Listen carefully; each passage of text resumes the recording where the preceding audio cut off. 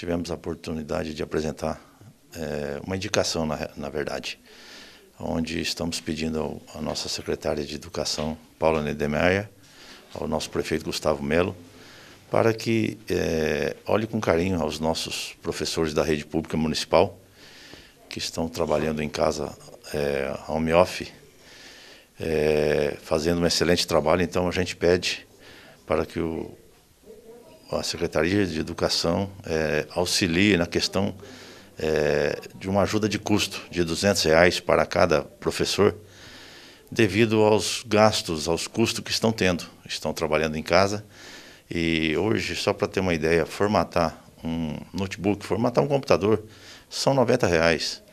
E internet, tem que ser uma internet boa, uma, com uma excelente qualidade. É, esses professores não saem de casa praticamente o dia todo, então, é, queira ou não queira, tem um, um, custo. E fui procurado por vários professores, é, reclamando nesse sentido que o município tem que ter uma contrapartida, haja visto que não pode usar as dependências é, das escolas devido não poder haver aglomeração.